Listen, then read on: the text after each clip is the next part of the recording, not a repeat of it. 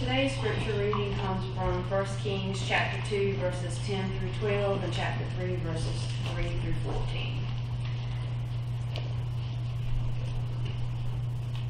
So David slept with his fathers and was buried in the city of David. And the days that David reigned over Israel were forty years.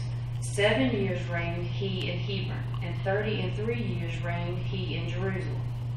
Then sat Solomon upon the throne of David his father, and his kingdom was established greatly. And Solomon loved the Lord, walking in the statutes of David his father. Only he sacrificed and burnt incense in high places. And the king went to Gibeon to sacrifice there, for that was the great high place. A thousand burnt offerings did Solomon offer upon the altar. In Gibeon the Lord appeared to Solomon in a dream by night, and God said, Ask what I shall give thee. And Solomon said, Thou hast shown unto thy servant David my father great mercy, according as he walked before thee in truth and in righteousness, and in uprightness of heart with thee. And thou hast kept for him this great kindness, that thou hast given him a son to sit on his throne, as it is this day. And now, O Lord my God, thou hast made thy servant king instead of David my father, and I am but a little child. I know not how to go out or come in. And thy servant is in the midst of thy people, which thou hast chosen, a great people that cannot be numbered nor counted by multitude. Give therefore thy servant an understanding heart to judge thy people, and that I may discern between good and bad, for who is able to judge this thy so great a people? And the speech pleased the Lord, that Solomon had asked this thing. And God said unto him, Because thou hast asked this thing, and hast not asked for thyself long life, neither hast thou asked for richness for thyself, nor hast asked the life of thine enemies, but hast asked for thy understanding to discern judgment. Behold, I have done according to thy words. Lo, I have given thee a wise and understanding heart, so that there was none like thee before thee, neither after thee shall any arise like unto thee. And I have also given thee that which thou hast not asked, but riches and honor, so that there shall not be any among the kings like unto thee all thy days. And if thou wilt walk in my ways to keep my statutes and my commandments, as thy father David did walk, then I will lengthen thy days. The word of God for the people of God. Thanks, Thanks be be to to God.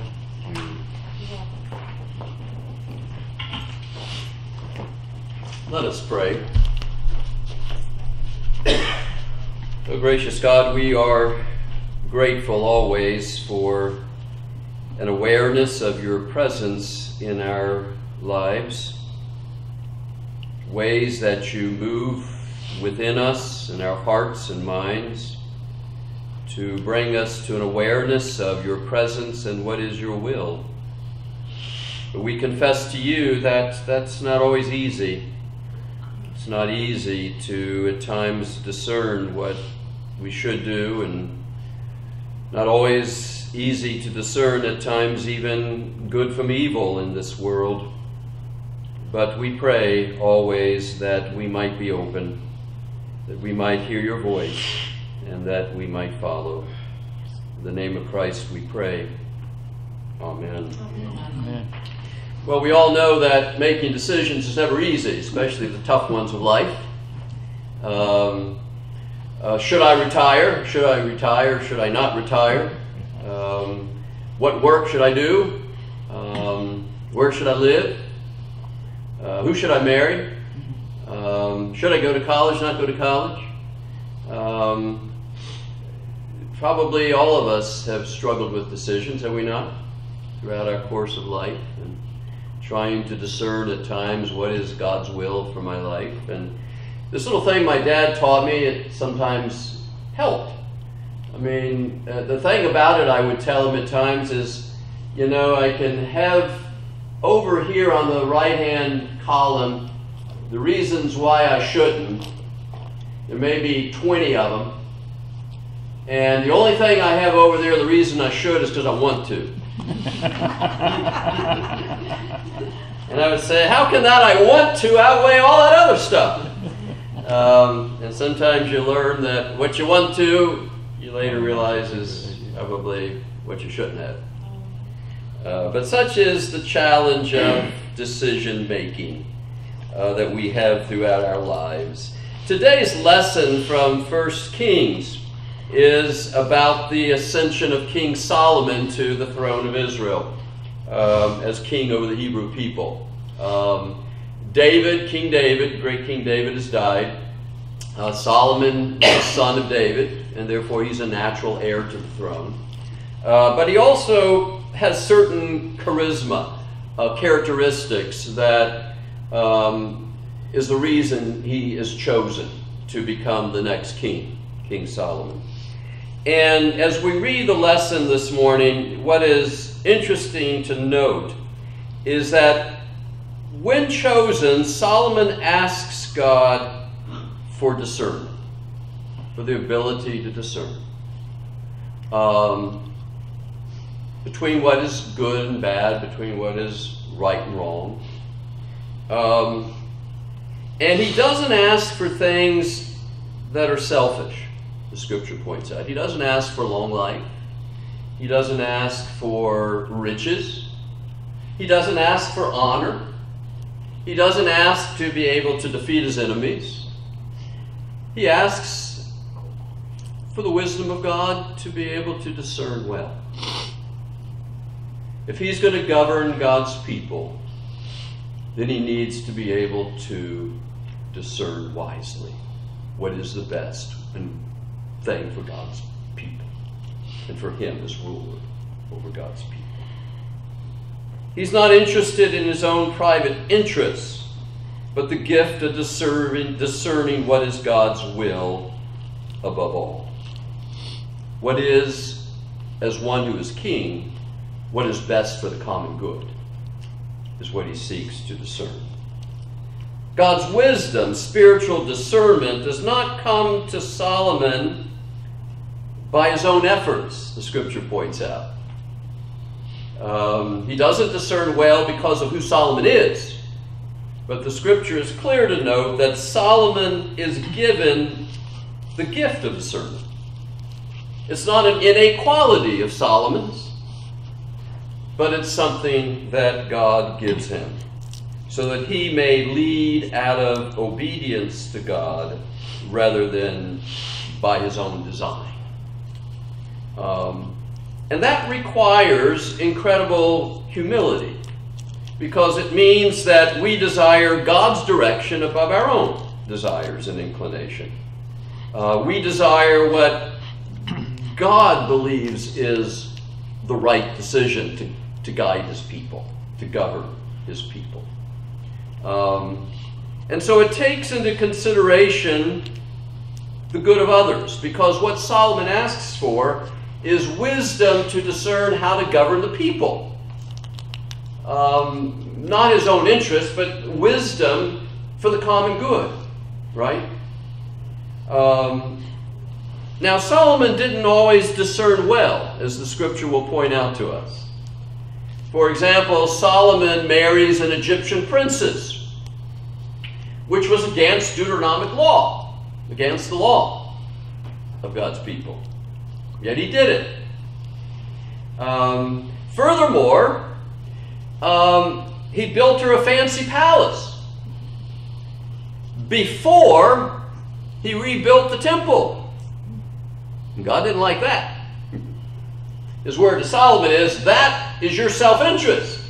You're go building a fancy palace for your new wife rather than making a priority the rebuilding the temple in Jerusalem. So it took Solomon a while to um, appreciate the gift had been given. It took Solomon a while to, um, to learn how to appropriately use that gift of discernment which God had given to him. What's one of the best examples of the wisdom of Solomon that we all know? You remember it? Remember the story? Two mothers. The, uh, the two women yeah. gave born give birth to babies within days apart. And uh, during the night, the one woman rolls on the child and the child dies, smothered and dies. And so she sneaks over to the other woman and takes that woman's baby and puts the dead baby of hers into the arms of the woman sleeping and takes the live baby. And when they wake up, you know, the mother knows that this isn't her child. and so the decision is brought before King Solomon, right? Two women are brought with the baby, and what happens? He said cut it in half. That's right. The wisdom of Solomon, discerning what is the Spirit of God, says, okay, let's see if we can resolve this. Um, we'll just cut the baby in half and give you each half. And of course, how does his wisdom win out? The real mother says no. Exactly. The real mother says, no, give it to the other woman. Ah, what a wonderful example of the wisdom of King Solomon. Discernment, the ability to decide between truth and untruth, between right and wrong. And in our own culture, in the culture that we live in, that's not always easy, is it? There are a lot of fuzzy places, a lot of gray places where we have difficult making decisions about what we think is right or wrong or truth or untruth. 1 Thessalonians chapter 5, the Apostle Paul writes, Examine everything carefully, hold fast to that which is good, abstain from evil. Do not believe every spirit, but test the spirits to see if they're from God.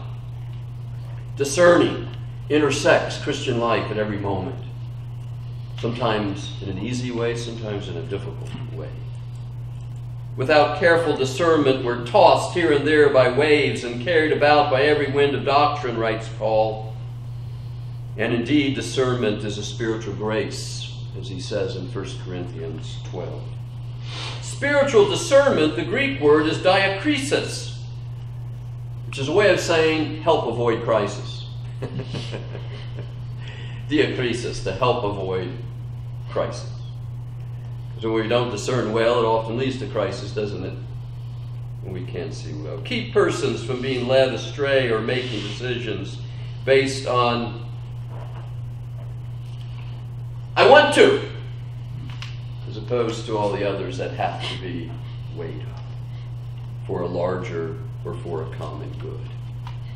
Spiritual discernment, the last thing I'd like to say today and apply it to some degree for, for us is how does it happen? How, how can we um, encourage it? In what ways do we come about with spiritual discernment? One, of course, is prayer.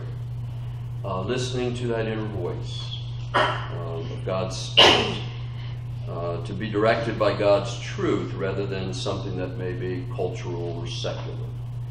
Uh, but to to, seek to discern what where is God leading us? What is the voice of God saying to us about a decision we need to make? Um, and in that making of a decision, to guard against things that are within us that may prejudice prejudice us and not allow us to listen well uh, to a decision that needs to be made.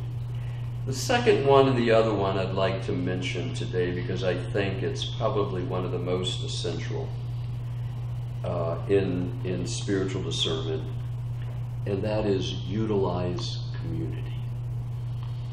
Use community.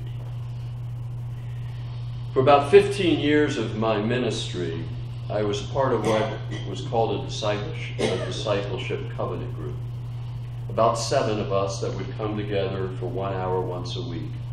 The primary purpose was to hold each other accountable for our Christian faith, the way we were living our Christian lives. But I also found over those years that this small community helped me discern. Discern things I could never have discerned on my own.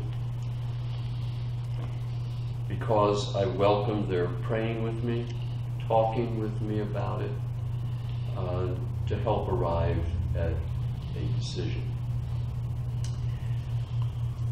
That's something that Antioch ought to think about. Think about this. Think about Mary Jones. Um, the faith and commitment that she's had to this congregation for, as I kid her about, 150 years. Um, she's given her life to this church. It's her family. And I've found in the past week, in trying to help make decisions about what's best for Mary, to be able to talk with some of you all about it. To be able to talk with, Beth and call Ann and Jackie and you know talk with others of you. And, um, um, with Judy and because those are things that that ought to be discerned in community. Not by one person, but they ought to be discerned in community. Um, you know, if I was, and you remind me of this if that day comes sometime, if I made a decision I wasn't going to be pastor here anymore, I hope I wouldn't make it alone. I hope that I would come here and say to you all, I'm thinking about not being pastor anymore. Let's pray about it, and you help me with that discernment. Does that make sense? I would hope that if one of you had a very difficult decision to make in life about something, that you might come as your pastor and say, Hey, could the church gather around me? And I could share with them what my dilemma is, um, so that you could pray with me about it, and we could talk about it, and, and, and you could help me in that decision.